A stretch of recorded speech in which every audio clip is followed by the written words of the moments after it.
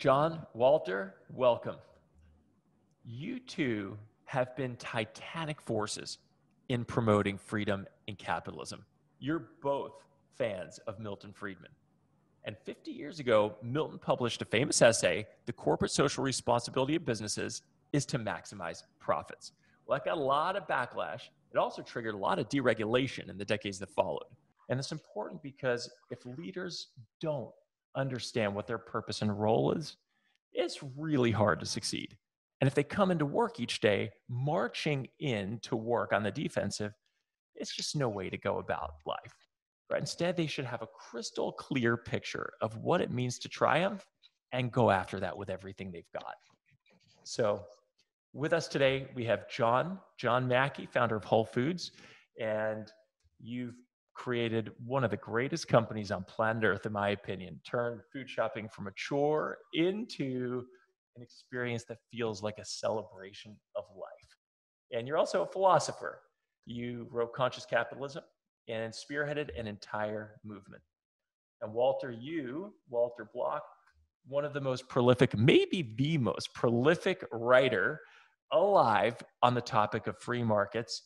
One of your many, many works, Defending the Undefendable, is so fascinating. It comes out in defense of the freedom, not the morality, but the freedom of pimps and prostitutes and druggies, blackmailers, basically the whole set of whipping boys for unconstrained capitalism.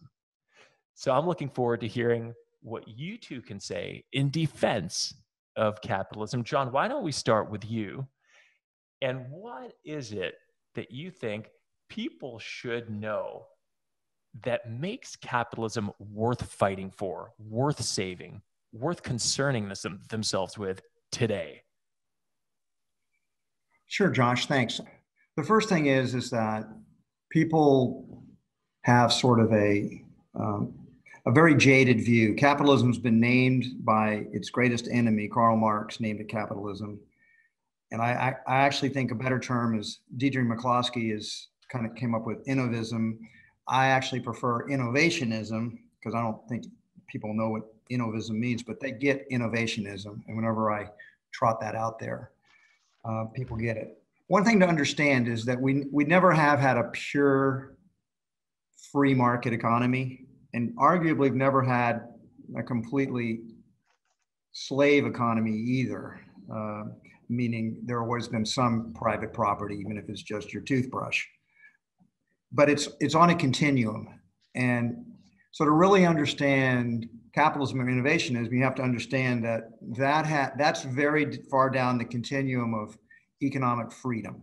And so I think economic freedom versus um, government control. The, the more economic freedom you have, the more you have a capitalistic, innovationist economy. And the more government control you have, the less economic freedom you have, and the more socialism or communism that you have. And that's just important because it's not just a bifurcated binary world. There's people, different economies shape up in different ways. But for most of history, we did not have very much economic freedom. And as a result, we had global poverty. And what's happened when we, when we, with the Industrial Revolution and with the publication of Adam Smith's um, Wealth of Nations, there was a, a wonderful moment in time when the intellectuals actually, for a little while, sided with free markets. Uh, and the genie got out of the bottle and the economy took off.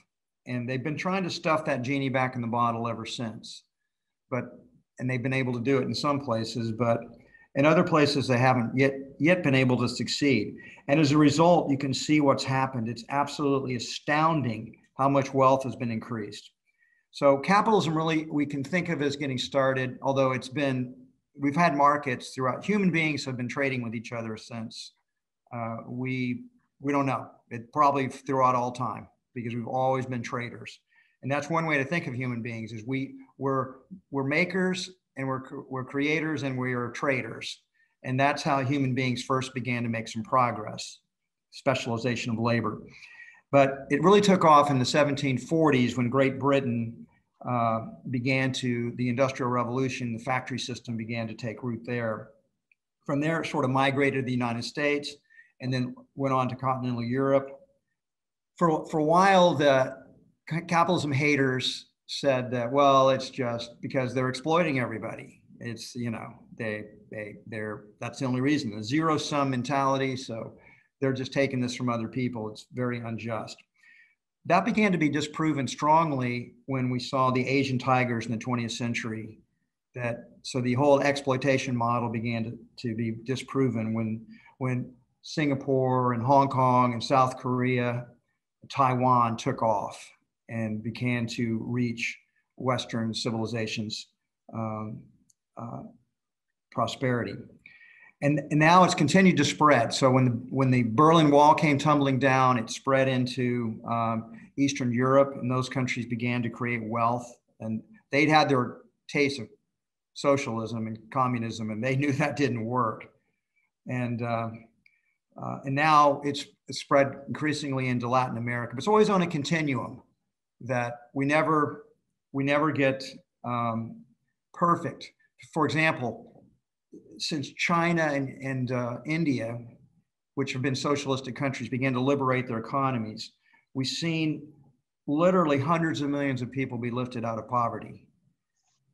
Does that mean they're capitalistic countries? Their degree of economic freedom is certainly less than it, it, it could be and less than it is in, in other countries in the West and countries in the West, but so much better than it was that with just some increase in economic freedom, poverty begins to decline.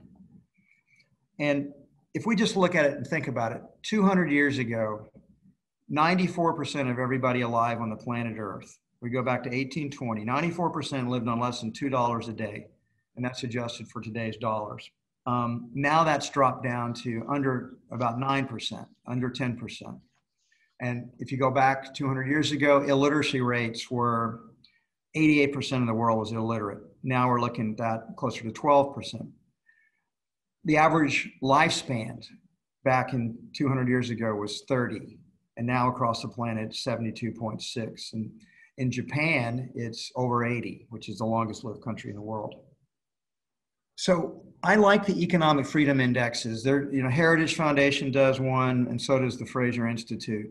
And these track the degree of economic freedom, and it's quite fascinating because the United States, which we think of as is very economically free, and for most of our history we have been, it fell as low as 18 just a few years ago, and now through in the last in this new administration, or not so new anymore, the Trump administration has deregulated parts of the economy and it's cut corporate taxes in some ways. It's done other things that we may not think are, are very particularly good.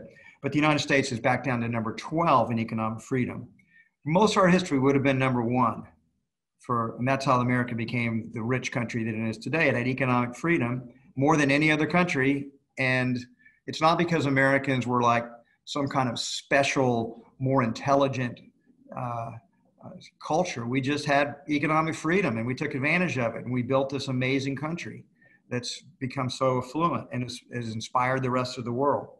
Although I think it's very interesting, at number 12, of all the major English speaking countries in the world, we're now last in economic freedom. We see New Zealand is three, Australia is five, Ireland is six, the UK is seven, Canada is eight, and there's the United States at 12. So we're still pretty good at 12, but we could be a lot better. We could be even more prosperous than we are.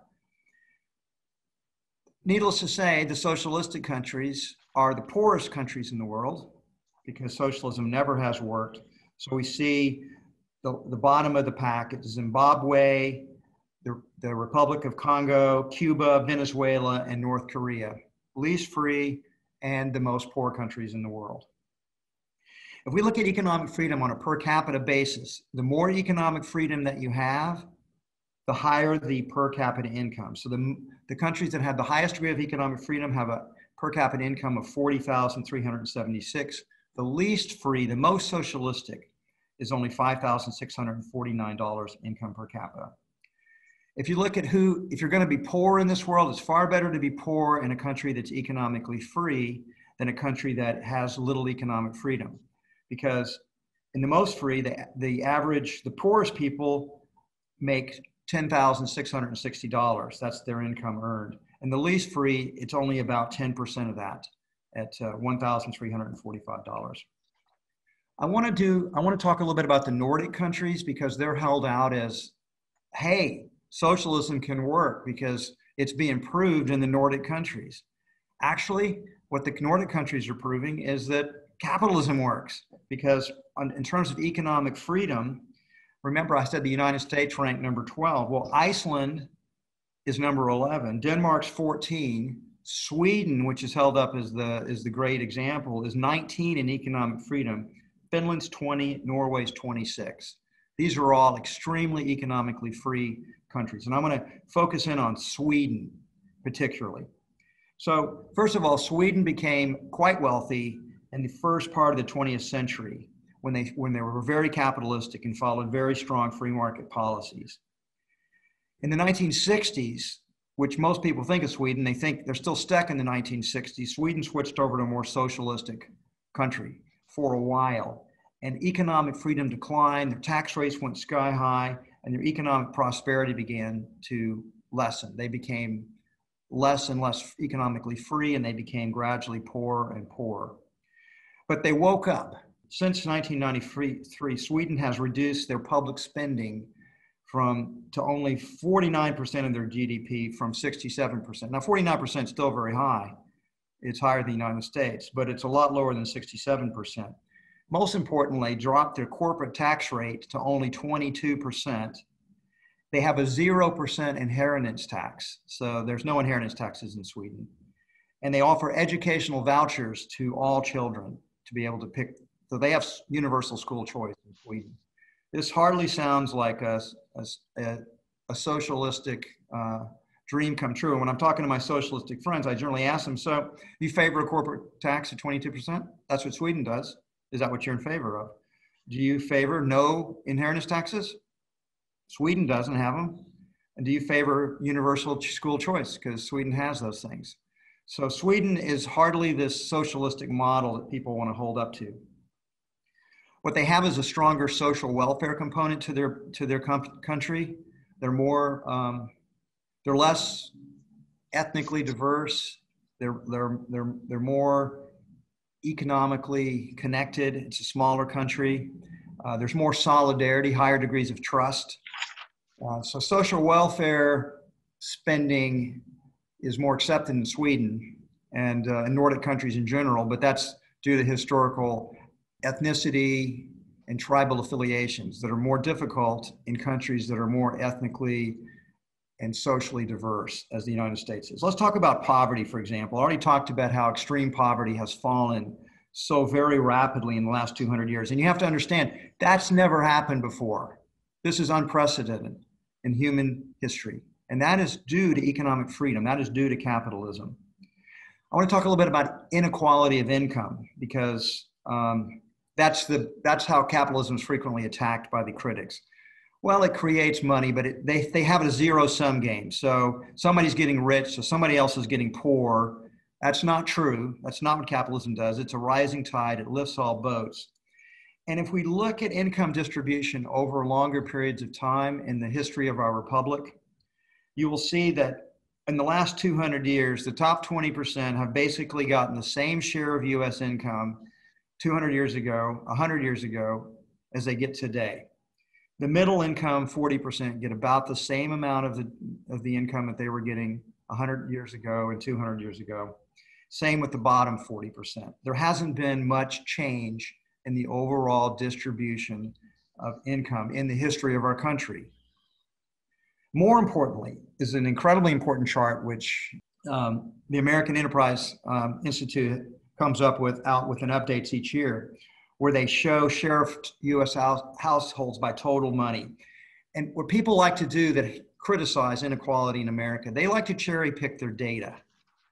And one of the ways they cherry pick it is they talk about the, the wealth spread between the very, very richest people and the very poorest people. The very richest people might be a tenth of 1%. It's Jeff Bezos and Bill Gates and Warren Buffett. And yeah, those guys are extremely wealthy.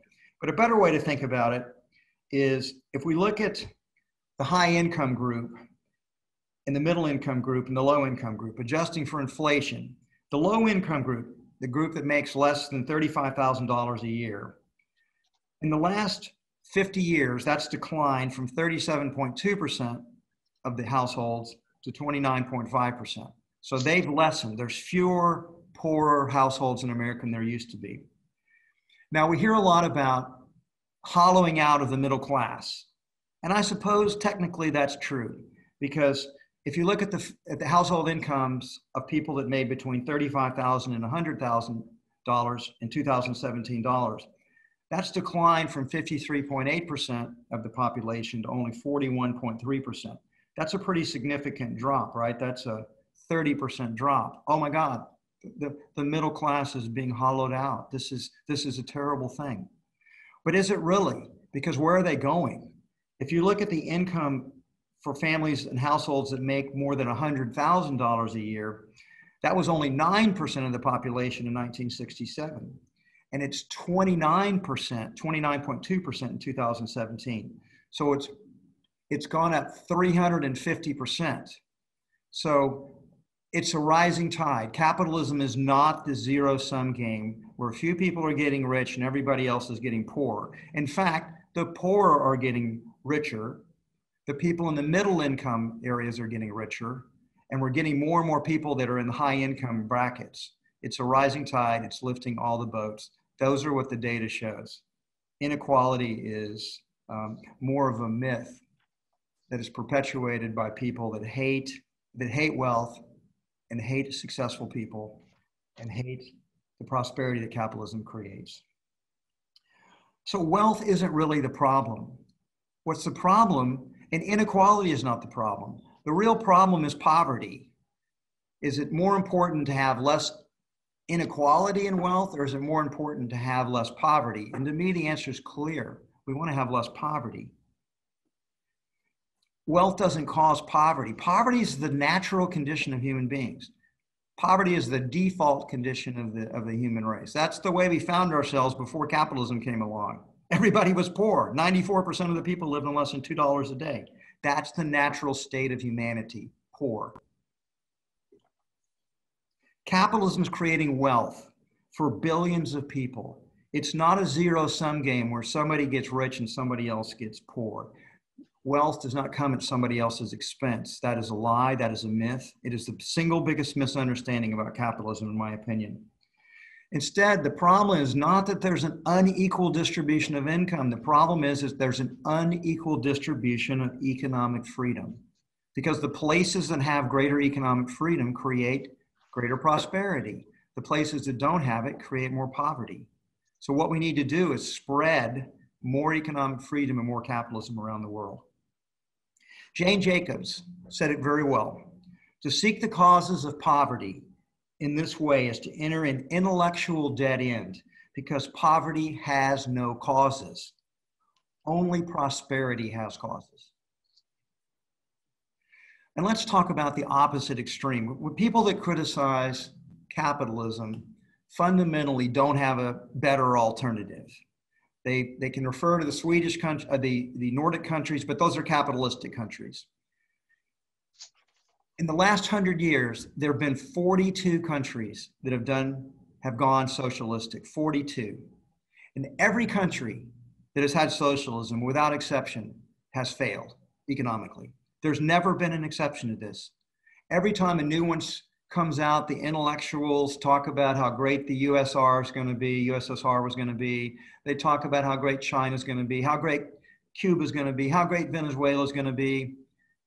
And guess what? Every one of them fails. And so I, I've debated socialists, and I always put this challenge out there. Name one socialistic country that's ever created prosperity in the world. You've got 42 to draw on. And the answer is zero. It doesn't work and it never will work. That's the truth.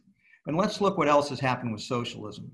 Well, because socialism is not based on voluntary exchange for mutual benefit, as capitalism is, it's ultimately based on coercion. Socialistic countries have murdered over 100 million of their own citizens in the past 100 years. It's consistently created poverty wherever it's become the governing philosophy. No exceptions. Venezuela, North Korea, Cuba, China, Eastern Europe, the Soviet Union, they all created massive poverty. Because it's based on government coercion instead of freedom, individual freedoms and rights are in, inevitably suppressed. They always talk about creating more liberty and more freedom for people, and they always do the exact opposite. It's just a bait and switch. We're going to give you more freedom. And they never do. They take freedom away. By definition, they restrict economic freedom. And when you begin to restrict economic freedom, all other freedoms begin to be restricted too. The real world history of socialism, a history of coercion, murder, poverty, and no real scientific achievements to speak of. So, the death toll in collectivism 129.6 billion, I mean, million people in the last 70 years. The USSR killed 61.9 million of its citizens. The Chinese communists got over 35 million. And the Nazis killed over 20.9 million. Yes, the Nazis. The Nazis were socialist. It stands for the National Socialistic. That's what Nazism means. I, I, I find it always interesting. People want to, they want to talk about capitalism is Nazism or fascism. No, fascism and socialism, I mean, fascism and Nazism are socialism. They were socialistic governments. That's what they adhered to, that's what they aspired to. So there's not this left and right divide. The real divide is between economic freedom and the lack of economic freedom, between capitalism and socialism. And fascism and Nazism are just variants of socialism, just another form that was defeated primarily by the Free West and the Soviet Union at that time. Uh, but because the intellectuals loved communism and socialism, they want the big lie that was told was that Germany and Italy were not socialistic, but they were. They were. And that's in the name. That's why we hear Nazis rather than National Socialist. All of the Nobel Prize winners that we've achieved in the last 100 plus years, they've all come from places that have high economic freedom. The United States has 368 Nobel Prize winners. The UK has 132. Germany 107, France 62, Sweden 30, Switzerland 26, Japan 26, and Canada 23. Socialism does not create economic achievements. It doesn't win Nobel Prizes. Capitalism is ethically superior to socialism. One of the things they want to argue is yes, capitalism may create prosperity, but it's fundamentally evil. It's based on selfishness and greed and exploiting other people. No, that is a lie. Capitalism is based on the principle of voluntary exchange. No one has to trade with a business. No customer has to go shop some, nobody has to shop at Whole Foods Market. They don't like it. And most, many people, most people don't like it. They go shop somewhere else. If nobody has to go work for a company. You have many competitive alternatives in the marketplace. People quit Whole Foods, for example, every single day. Every single day, we have people quitting our company and getting jobs that pay them better or have superior working conditions to what they were getting at Whole Foods. Um, nobody has to trade. No suppliers have to trade with the business. When Whole Foods was public company, nobody had to invest in the company. It's all based on voluntary exchange for mutual gain. Socialism, on the other hand, is fundamentally based on governmental coercion. It coerces people, it forces people to do things. And what does that mean? Ultimately, it's coercion with guns. You get arrested, thrown in jail, somebody comes with guns if you don't comply. Because capitalism is based on voluntary exchange, that creates mutual gains, mutual prosperity. And socialism believes in the myth of the zero sum game somebody gaining, somebody else is losing. That is a lie. That is a fundamental lie that's told about capitalism. Capitalism forces, has competition, and that competition forces business to innovate, to get better, to provide better service, better products. That competition, if you don't get better, you eventually go out of business. Socialism doesn't allow competition. Socialism thinks it all should be monopolized by the state. The government should control everything. And when that happens, you have no incentives to get better. And that's the fundamental reason why socialism stagnates and doesn't work. There's no incentive for improvement. We all know this. Whenever we deal with government agencies, from uh, getting the new driver's license to Social Security, we wait in line. There's apathy. Nobody cares about us. There's nobody, because what can you do? What's your alternative? When we're dealing with the government, you basically have to take what's given to you. It's why our schools aren't very good and they're government controlled. As healthcare is more regulated, healthcare gets worse and worse and worse. Um, that's socialism. It doesn't allow that competition to exist. Capitalism is ultimately based on individual freedom and self responsibility. You're responsible for your own life. You're, you have freedom and you have to make choices about it. Socialism is based on forcing your individual freedom to be submitted to the control of governmental bureaucrats. That's a simple reality. We all, we all experience it when we deal with the government. And I want to say that this is also an argument ethically between the makers and the takers. As Margaret Thatcher famously said, the problem with socialism is that eventually you run out of other people's money. When socialism comes in, it takes away people's money and redistributes it. it this looks great. Look how well we're doing. But eventually, there's no more money to distribute. You can take away all Jeff Bezos' money and Bill Gates' money and Warren Buffett's and Elon Musk how long does it last? It doesn't last that long. And then what have you got? you are broke. There's nobody else's money to, to, to steal. And so the economy begins to, to go into the ground. Socialism is fundamentally based on an appeal to envy, envying other people's success, envying other people's wealth, and trying to say that they don't deserve it. They stole it from people and we're going to take it back. It's fundamentally a rationalization for legalized theft from the most successful and wealthiest people. Capitalism, on the other hand, it rewards those who are creative, honest, hardworking, prudent, responsible, and frugal, who save and invest their money. Socialism, on the other hand, rewards those who are lazy, imprudent, wasteful, negligent, and extravagant. Socialism argues that there's this class warfare between the 1% and the 99%, when in reality, there are two major classes. There are those who create value for other people, they're the makers, and those who want to control, regulate, tax, and through coercion, the power of the gun, take the wealth that others create, and those are the takers. Winston Churchill famously said, Socialism is the philosophy of failure, the creed of ignorance, and the gospel of envy. Its inherent virtue is the equal sharing of misery. That completes my presentation. That is one rousing presentation. Thank you. It's actually inconceivable a reasonable person would come out in defense of socialism. So it's safe to say that case is made, but seemingly reasonable people come to the defense of interventionism, left, right, and center, all over. So, Walter, it'll be very interesting to hear not just your defense of capitalism, but your defense of capitalism against l- perhaps more insidious and less alarming forms of intervention, those ever so slight forms where the camel's nose is getting under the tent, and before you know it, you've got a, a largely state run society. Why should we come out swinging for capitalism?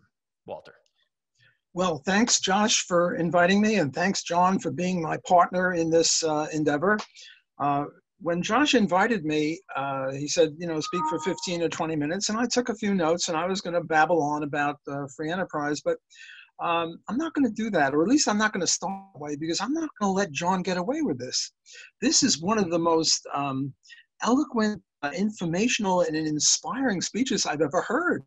Um, and I'm going to take the role, at least initially, as a commentator on what he said, because I think what he said is just magnificent and needs to be expanded upon. So I'll sort of be a commentator. And I would say that I see him sort of as a, a Ronald Reagan. Uh, what, what John and Ronald Reagan had in common is they both spent most of their adult career in other fields other than promoting liberty.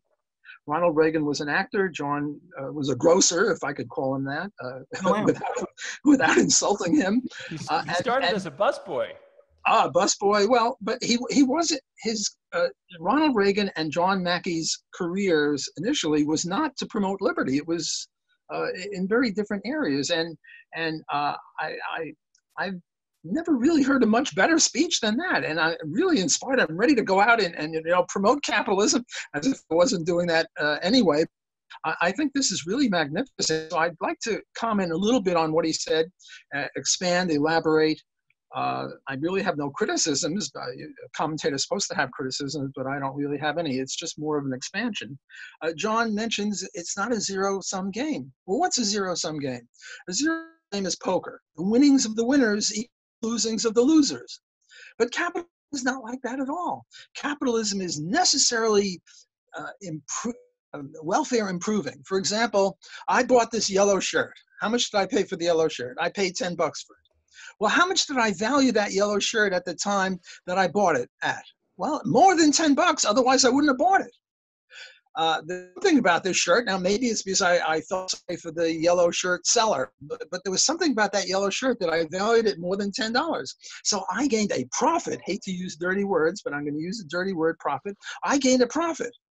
Uh, how about the guy who sold me the shirt? He must have valued that yellow shirt at less than ten dollars. Otherwise, he wouldn't have sold me. Probably had ten thousand of them, and he valued it uh, at a penny or negative. He's glad to get rid of it. So he made a profit. So the way the Marxists would say it is, we each exploited the other, which is you know nonsense on a stick. We each aimed each other. It was not a zero-sum game. Uh, John is quite right. The Nazis are national socialists. The commies are international socialists. Well, what's the big difference? Who cares whether it's national or international? It's socialism, and you know, uh, uh, it, it's a problem. Now, John did mention incentives. Why? Why the? Why is it that no socialist country ever uh, improved wealth? Um, and he mentions incentives. I would just add Hayek and Mises. Hayek mentioned um, informational flows. Uh, even if we had super duper computers and, and everybody knew everything, how could the central uh, how could the central authorities know uh, what Hayek calls the specific knowledge of time and place? For example, uh, I know that Joe is a better worker than Charlie on this, and Charlie is a better worker than Joe on that. How the hell is the Central Planning Bureau ever going to find out that sort of a thing? And that's what Hayek mentioned. And um, Mises mentions um, chaos, economic chaos. Unless we have prices that reflect scarcity and desire, we don't know whether to make railroad ties out of iron or platinum. Look, platinum is better. Maybe we should make all uh, railroad ties, uh, uh, rails out of platinum.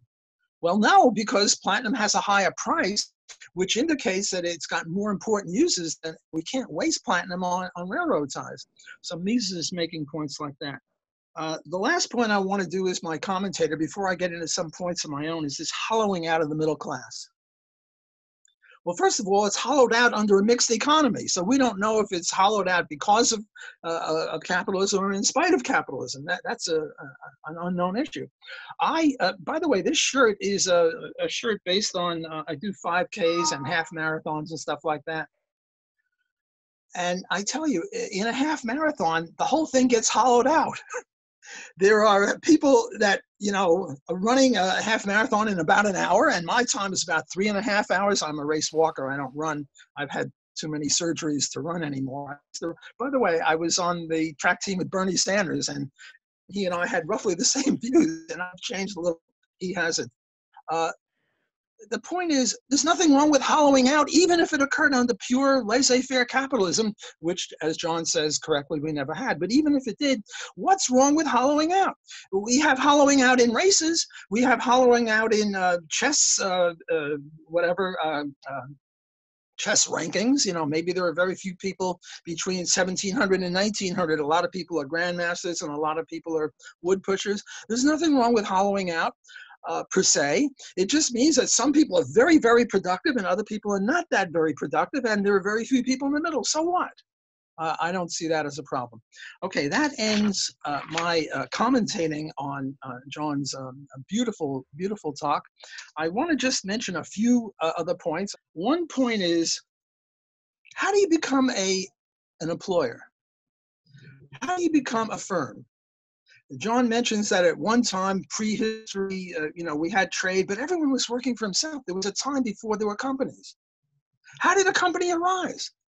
And the reason I mention this is our friends on the left are always saying, well, companies are exploiting workers. And I want to get into that. Well, okay, let's say the three of us here, and Cheyenne is the fourth here, we're each independent workers. And um, John, I'm going to make him the employer. How does he become an employer? We're each working, we're sort of hand to mouth, and, and you know, we're above subsistence level a little bit, but we're not very rich. And what John does what he necessarily does is he saves, and the and the three of us don't save anything. And now John saves a little bit, and he comes to um, Josh, and he says, "Hey, Josh, come work for me.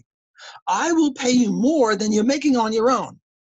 And how can John afford to pay Josh more than Josh is making on his own? Because specialization and division of labor. If John and Josh work together, they can produce more than twice as much that, either of them separately. That's how a firm starts. There's nothing wrong with a firm. There's nothing wrong with a business firm. There's nothing wrong with uh, uh, with a company. It just starts because some worker hired another worker on a voluntary basis and was able to pay him more in salary than he was making on his own. How do we get a corporation? Well, a corporation is just a, uh, a legitimate contract where um, uh, people say, look, uh, if you want to sue us, you can only sue us for um, uh, the amount that we put into the corporation. Not if we, you know, violate rights or something, then we're responsible. But if if you have a problem, you know, like uh, you you sold us a shirt and the shirt didn't work, we're only liable for the amount we put into the firm.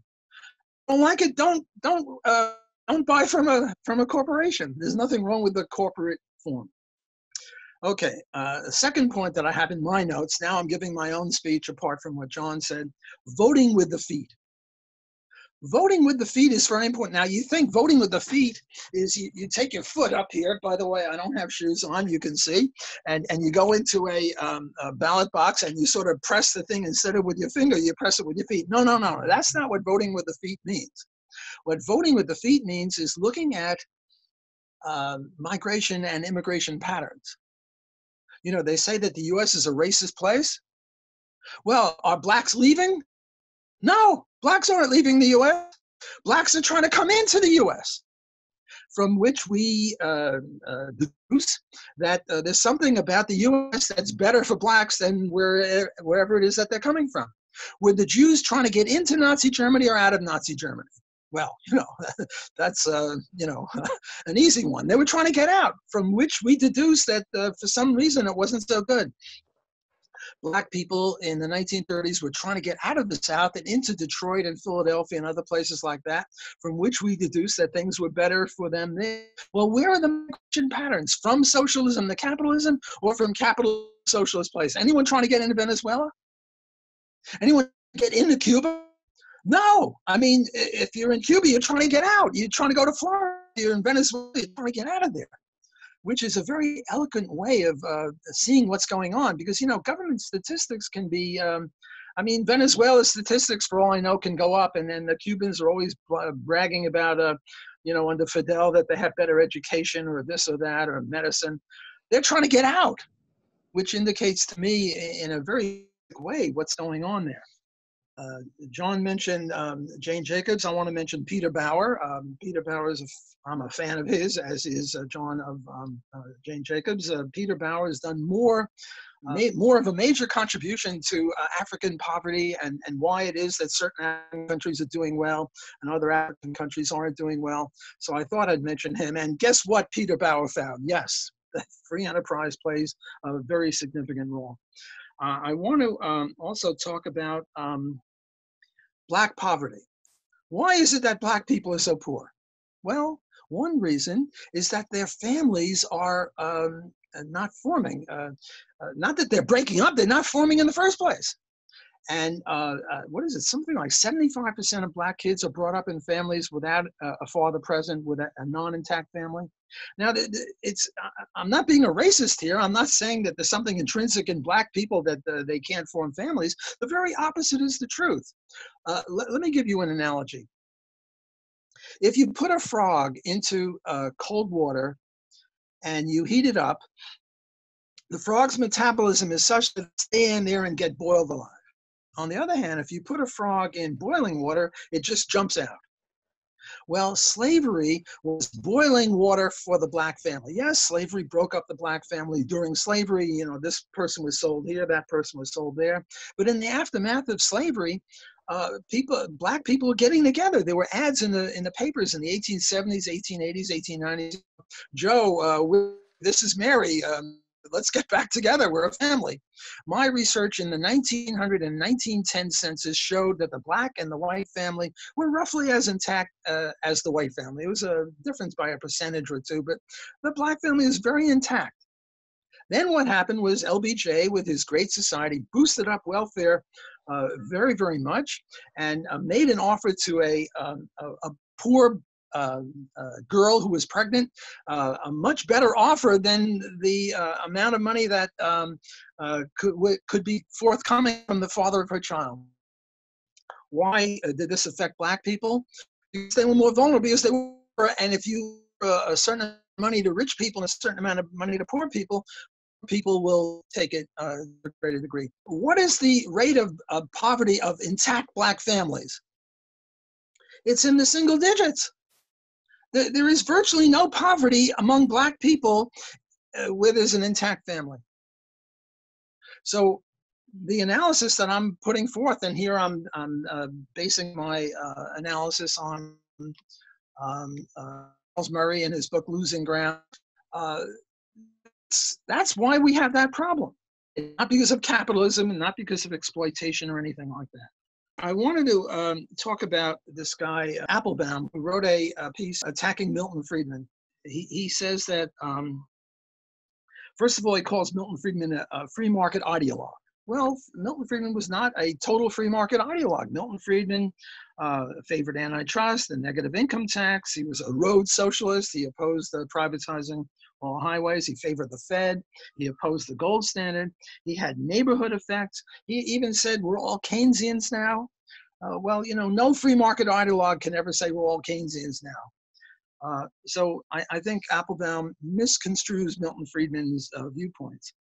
Uh, also, um, Milton Friedman had the, a movement toward egalitarianism. He favored um, uh, government support of education on, on neighborhood uh, grounds effects, on the idea that uh, if we only have uh, privatized education, uh, people will only have so much education based on whether it helps them or not. But there are spillover effects, there are external economies or um, economic externalities. that benefit other people. So he said that the free market would misallocate resources into not enough education and into too much pollution and um, uh, Applebaum appreciate uh, this uh, aspect of what Milton Friedman uh, was saying. Last point, uh, and, and, then I'll stop. Um, uh, Applebaum says that people make profits at the expense of society. No, no, no, they don't make profits at the expense of society. Uh, the way John Mackey made profits in, in Whole Foods was by providing people with a, uh, a different grocery experience than that was available elsewhere. Uh, he didn't make profits at the expense of society. He made profits by supporting society, by supporting all the customers and, and workers and, and other people that have anything to do with Whole Foods. So I will end now. I, I was uh, honored uh, to be able to be a commentator on John's excellent presentation, and I hope I added a few more points of my own. Thank you, Walter. Thanks, Walter. John, any questions, comments, reactions to what Walter shares before we launch into some questions from me? I made some notes. Um, one thing he left out when he was talking about uh, people trying to get out of Cuba and get into Florida and uh, the best historical example is the Berlin Wall. That was not built by the West Germans to keep the West German citizens from flowing over to the communist socialistic utopia of their neighbors. It was because they built it because so many Eastern Germans were getting the heck out of their part of Berlin so they, they could create better lives for themselves and their families. And I think Walter's um, insight there needs to be underscored people vote with their feet. And um, I know Whole Foods, we employ literally thousands of immigrants that have come over to the United States. And United States, gosh, we have more immigrants in our country that weren't born here than I don't know, the next three largest countries combined in terms of immigration. People will come over here of all ethnicities, all races, all countries. And um, You know, I'll just tell you a story that kind of sums it all up for me. Okay. So a few years ago, I was um, I was doing a speech somewhere in Chicago, and I and I was a paid speech, so I got I got picked up. A driver met me at the baggage claim, and he had an accent, and I couldn't quite place the accent. So I said, "So, where are you from originally?" He said, "I'm from Bhutan," and it was like Bhutan. What do I know about Bhutan? I've never been there. Oh yeah, Bhutan. That's the happiest place in the world. That's how it's portrayed as the happiest place in the world. So I asked him, I said, Bhutan, you, you guys are supposed to be the happiest place in the world. Is, is that true? And he said, Yes, we're very happy in Bhutan. And so then I said, Well, if you're so happy in Bhutan, how come you're here? And he says, Happiness overrated. No, my my daughter, my daughter is in medical school. My doctor is going to be, my daughter is going to be a doctor. She could not be a doctor in Bhutan. Think about that. Think about what all that means, the implications of it. The coming over here for a better life for his, not just himself. He was, he was probably working two jobs to, to, to to pay for the medical school. And I'm sure she had some financial aid too. But what an accomplishment for his family. He was so proud of his daughter. Parents will sacrifice for their children and uproot themselves, go to a place where they don't speak the language, they don't know anybody, have any connections to try to create a better life for their families. Guess where they migrate to? To capitalistic countries, always out of the socialistic countries. The reverse migration is practically nothing just actually a few socialistic ideologues who want to go over there. And, and uh, I just think that's very important. The walls are built to keep people in to their utopian socialistic countries and they want to get the heck out. And I think that says it all kind of right there in a succinct uh, story. I'm going to steal. Story. I'm going to steal this one. This is magnificent. Happiness is overrated. My God, that, that is so. That is well, beautiful. Well, it was pretty funny. I was shocked when he said that. hey, you know something? Uh, something I'd like to talk about um, because we talked a lot about how prosperous capitalism has made the world. It creates more economic freedom. So it, it raises a very interesting question: Is why do so many people dislike it? If it creates so much prosperity, if it creates better lives for people, why is it so disliked? I'm going to ask that question. I have an opinion about that, but I'm going to ask Walter what he thinks. I happen to have written an article on this. Uh, uh, and um, what we said was it's sociobiological. So let me talk a little bit about sociobiology. And again, to repeat John's question, why if capitalism is such a great system are most against?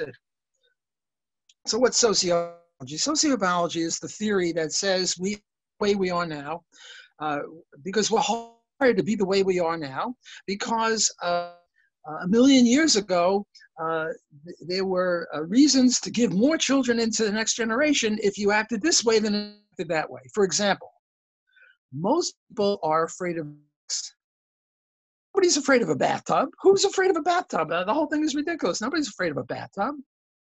And yet, bathtubs kill more people than snakes now.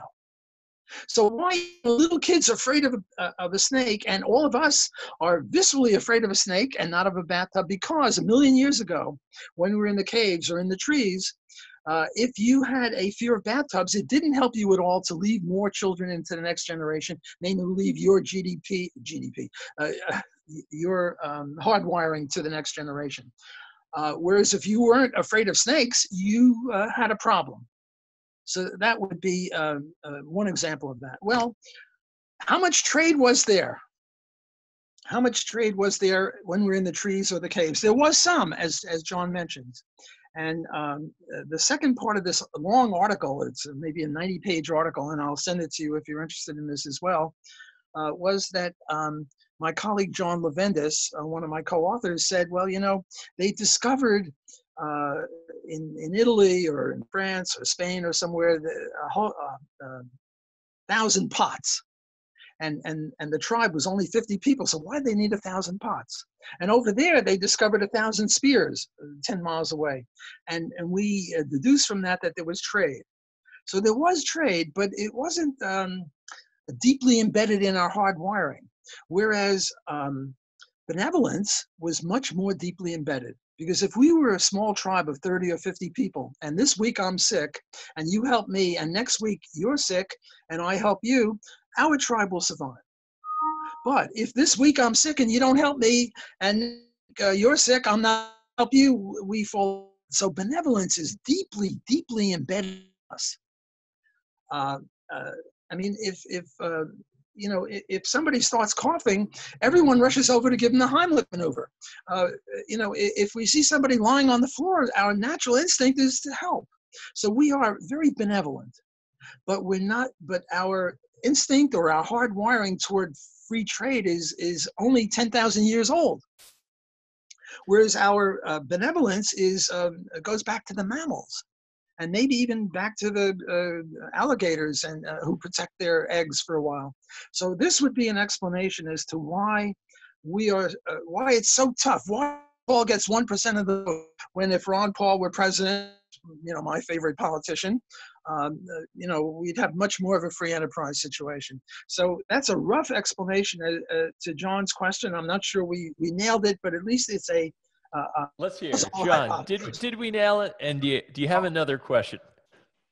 I've got I've got my own perspective on it. So um, please share. I do share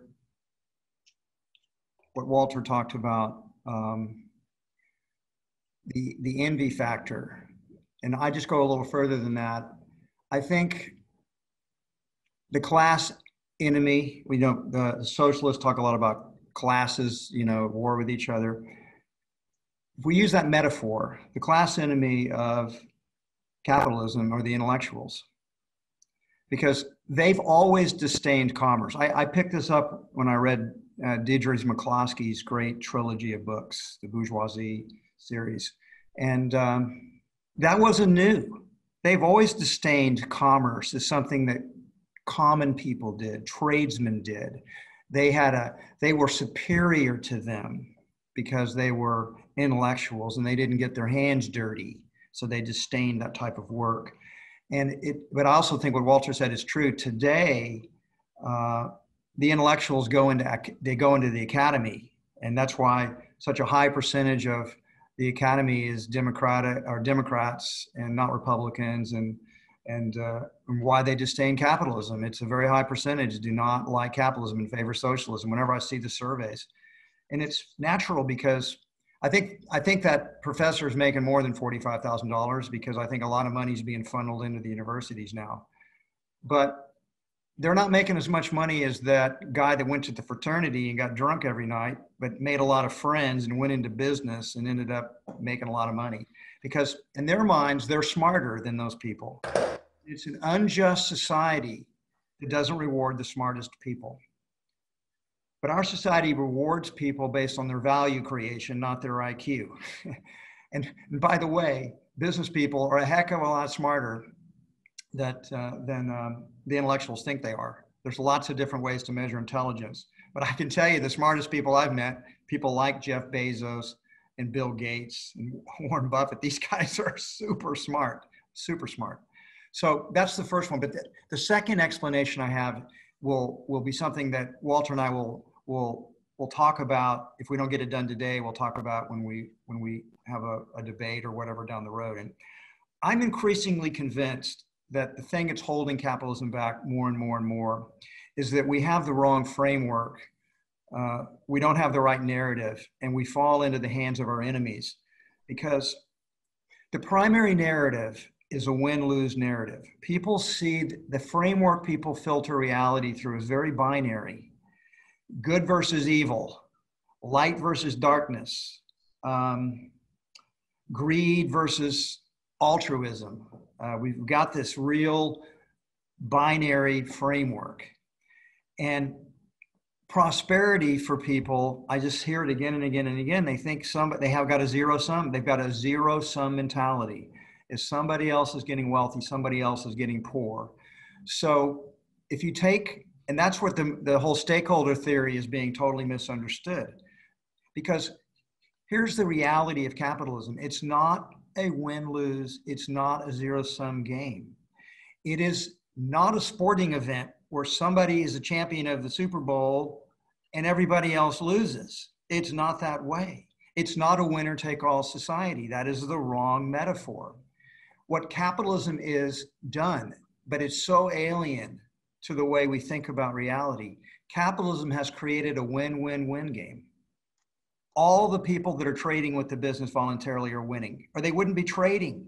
There's not this loser. Yes, even the competitors are improved because they're forced to innovate, imitate, and get better. So it's not this win lose game. But the intellectuals think about it that way. So they're always talking about if somebody's getting wealthier, then that's causing inequality. And it's, it's like everybody's thinking about it. Almost everybody thinks about it in terms of a win lose framework. And to truly understand business, we have to shift the frame, to truly understand it and win the argument, we have to shift that framework to something people doesn't come natural to them that actually capitalism is not about some winning and some losing. It's really about the whole society winning. It's a win win win game. You win, you trade with me and you win. I win because you trade with me. And guess what? The larger society is winning too. and th- that's why the social responsibility thing is misunderstood and misframed because people are thinking in terms of trade offs, and economists naturally think in terms of trade offs. Well, if you're going to take money from the investors, then they're going to make less. And uh, if you give it to some charity, then there's going to be less money to go around. Or if you're paying more, that there's less to go around. The whole art of business leadership is to see that it's more of a system, that, that these so-called stakeholders are interdependent. They're not, they're not against each other. They're not at war with each other. There's not one winning or losing. A, a, a good business leader has to create value for their customers or they're going to fail. So they have to keep high quality and good prices and good service so that's or they're going to fail. Um, you have to pay people well in order for them to want to continue to work for you. So so you're under competition to get your pay up to the market or even better than the market so that you will have greater retention, less turnover rates. Same thing. So all of these things are done voluntarily, and everybody's looking for their own best interests. But if you're if you're like a business leader and you're trying to optimize the entire system, because where maximizing profits is fundamentally misunderstood, and when Walter and I have this debate, that we will be thinking about it a little bit differently. So I'm, I'm tipping off on what my argument's going to be in advance. Yes, of course, we're always trying to maximize profits. And the best way to maximize profits is to create value for customers, have great relationships with your employees who create the value, have favorable relationships with your suppliers who help give you the things that you're trading. And that leads to maximizing profits. It's not a zero sum game, it's a win win win. Purpose and profits aren't opposites, they're partners. Profits yeah. and purpose. I, I'm going to hit the, the pause button for a moment. Don't don't tip your hand too much. I'm not tipping my hand. I, know I know that I'm right. It, I, so and, I don't and care. I, can, he can know it in advance. The point is, capitalism is misunderstood because we tell the wrong narrative about it. And until we change that narrative, if we're just going to argue that profit is good because eh, maximizing profits is the only good. In, in, a, in a binary world, we're going to be misunderstood and capitalism is going to be hated and attacked. We are playing into the hands of our enemies. We have to explain it in terms of the greater wins all around. Everybody's winning, not just Jeff Bezos. Everybody's winning. That's the narrative. I, suspect we are we are going to be in furious agreement, Walter, despite your inclination that there's a, a true debate. But before we dive into that, John, I want to challenge one thing you said, which is that it's not so intuitive for people to to latch on to this mutuality. It's it's more natural to think of a zero sum game. It's a harder concept for people to grasp. I think it is very intuitive. In this conversation, just as a microcosm, Walter was giddy at the exchange of information. He can't wait to latch onto your story and share that, right? And you ask him questions and you benefit you share information and you both end up the better for it. If Walter, if John had some fruit and Walter had some fruit and John gave you an apple and Walter, you gave him an orange, you guys trade, you're both happier. It's very intuitive. It does seem, John, more to your point, your, your second point, that it really is a matter of controlling the narrative because it's such a simple concept that there's mutual benefit from Look interaction way, and trade. Look at the way business is explained, Josh. I agree. It's it's not hard to understand, but that's not the narrative that's used. That's not the metaphors that are used in business. The first metaphor series of metaphors are war metaphors. We're going to crush those guys. We're going to kill them. That's they're they're. This is uh, and if it's not war metaphors, we go into the war room. We create a campaign. We we get let's go inspire the troops. We're using military metaphors, which is war. And in war, you're trying to destroy the other side. Or we're using Darwinian survival of the fittest metaphors. It's a jungle out there. It's kill or be killed. It only the paranoid survive. So we have, or they're sports metaphors. In sports metaphors, there is the one winner and everybody else is the loser. Nobody remembers second place. Um, and, and so these metaphors are how we think about business. We think it in these hyper competitive terms. And yes, competition is one element in business, but it's not the dominant. The dominant element in business is value creation for other people. It creates value for everyone who's trading with it. It's the most amazing system that's ever been created by humanity. And yet it's put in this narrow box of greed versus altruism or your nonprofit or your for profit. It's put in this morality play and it's seen as darkness because, hey, statistically, 90% of the murders that you see on movies and television are committed by businessmen in reality, business people are far kill less, far less than one percent of the but yet, that's how they're held up. They deliberately go dump everything into the. They dump their pollution in the streams. They exploit their workers. They are. They cheat their customers. They they they're terrible people. We always hear about the robber barons. They're they're morally horrible. They the whole working class was exploited it's the whole immiseration thesis that Marx put out there, and people still believe it. We don't tell the right narrative. I had a few comments I wanted to make, uh, adding on again to what John is saying. I, I, would just say it's not just uh, businessmen, it's white uh, male businessmen who are straight, because they're the only ones that it's safe to criticize. Because if you criticize blacks or women or gays or anyone, you're evil. But white uh, toxic males are, you know, fair game. Um, I, I wanted to get back to uh, my theory. Um, if if sociology is a partial correct analysis of why we have such difficulties, how do you explain the three of us? How do you explain Milton Friedman or uh, Hayek or Mises or Rothbard uh, or Ron Paul? We are mutants. We're weirdos. We're, we're, we're different somehow look i started out like with bernie sanders i had the views but ayn rand another mutant uh, you know converted me to free enterprise so we're weirdos uh, another issue is uh, john mentions the super bowl the Super Bowl is a positive sum game. Both of them gain. Those football players are all making. I don't know what the salary is. I screwed up the salary of um, of um, poetry professors. It's not forty five. It's more like ninety thousand. But but still, it's way less than the guy who has a McDonald's franchise. Uh, Super Bowl guys are making a million, five million. Uh, even the loser. I mean, you know, right now we're having the NBA finals uh, between uh, what is it, um, uh, L.A. and um, Miami. And, and Miami. They're all making 5 10 15 20 30 million dollars even the losers you know? What they're doing is putting on a, a play if i could uh, use that analogy and, and they're all gaining.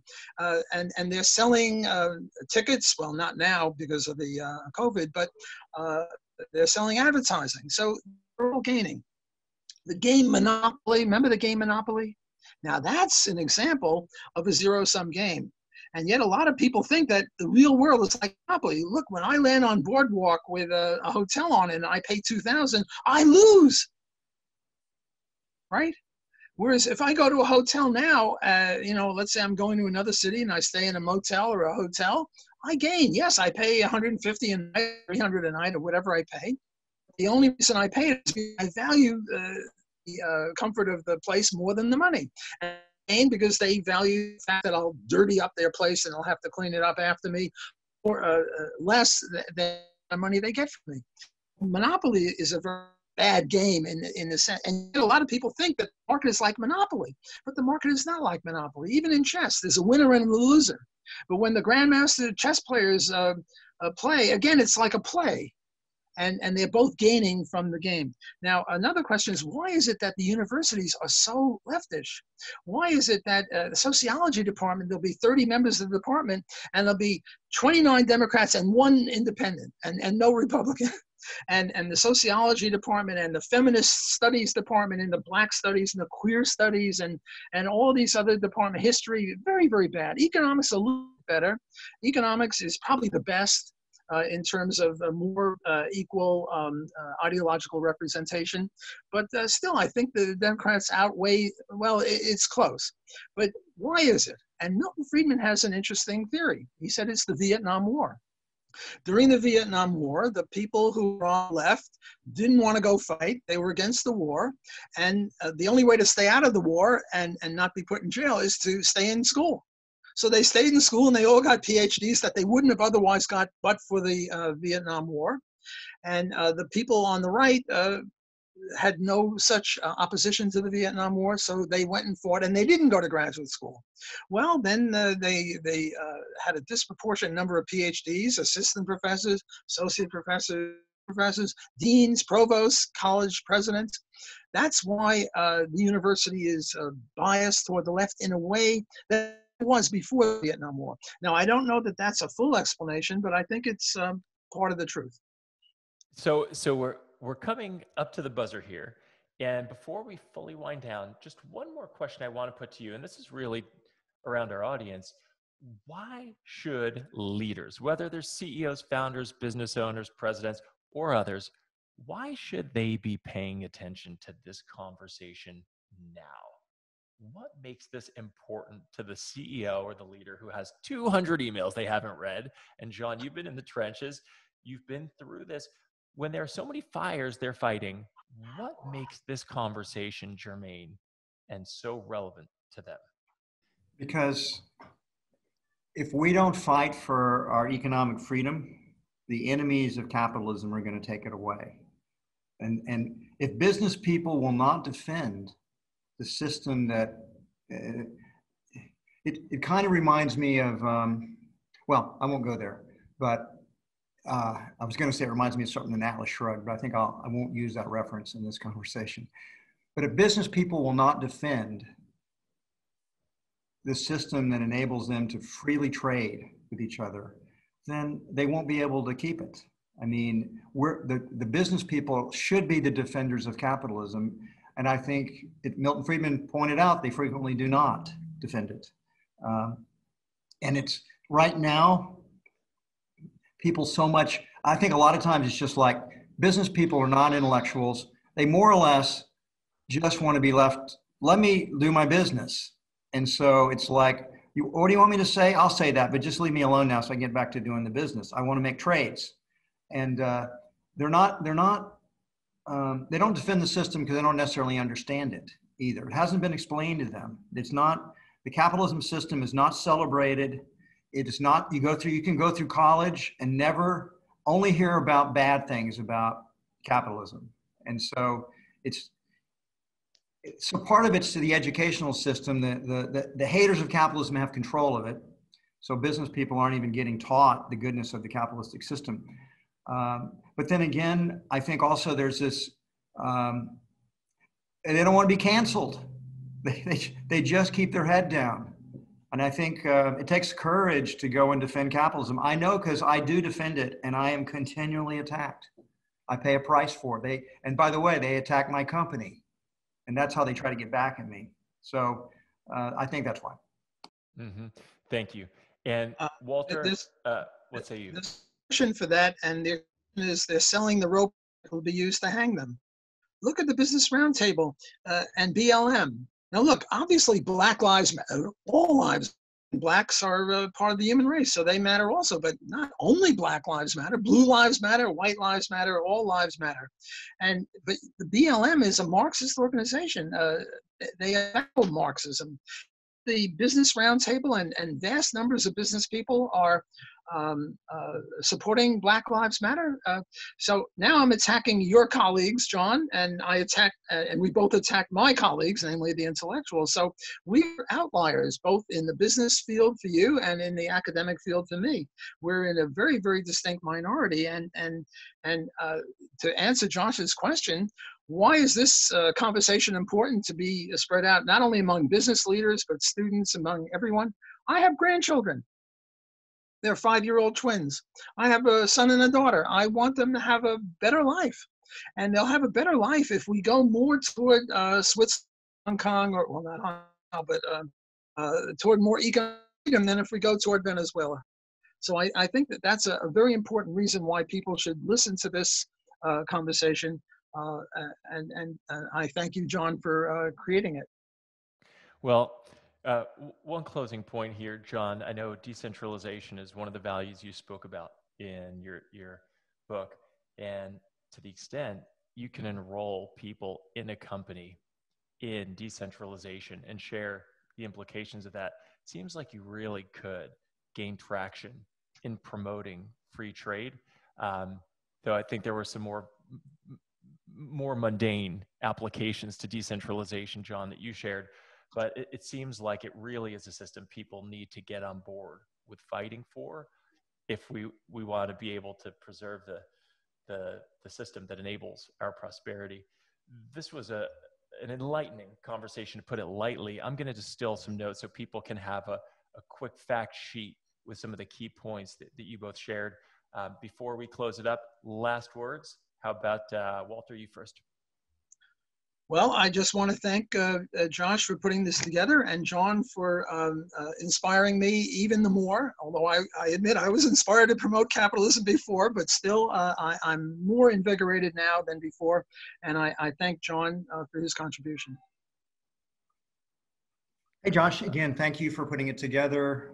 Uh, Walter's great to sort of virtually meet you because I've been an admirer of yours and you you I've read your defending the undefendable part one, part two. I you're you're a provocateur and you like to shake things up and I like provocateurs because uh, I'm kind of one myself and uh, I've just had to keep my head down a little bit more running a big corporation so that you know like you want to protect your children and generally my children are what they try to attack so um, i'm very concerned about where the United States is right now, and I'm very, very concerned. We're it, we're at a we're we're getting near a crisis point. This election cycle is going to be very interesting. This this stupid virus has uh, has been a wedge that that the people that want to take our country over and control it are using it, and Americans are are scared. And uh, uh, it's it's we're we're maximum vulnerability right now, and so we got to get through this virus and we got to get uh, we got to get past this election cycle, and uh, we just got to maintain freedom. We got to maintain freedom in America. It's what's made America what it is. Take away our economic freedom, and we will become one of those crummy, failed states. It'll take a while. We're pretty rich, but it won't take more than a couple generations before we are before we're broke, if, if less, because they the way they want to spend money. So I'm very concerned, and uh, that's one of the reasons I'm speaking up here today. So I think some some famous person once said uh, we're only one generation from losing our freedom, and I, I, wanted to mention the fact that uh, thanks to Josh, John and I are now co-authors of, a, of an op-ed piece, and uh, uh hopefully we'll get it published soon. We're so, having trouble getting that marketed, though. that's true. well, this is certainly not the end of the discussion, my friends. Just the beginning of a series. We'll see you two again at some point in the not too distant future. John, tremendous thanks. Walter, tremendous thanks to you a provocative conversation.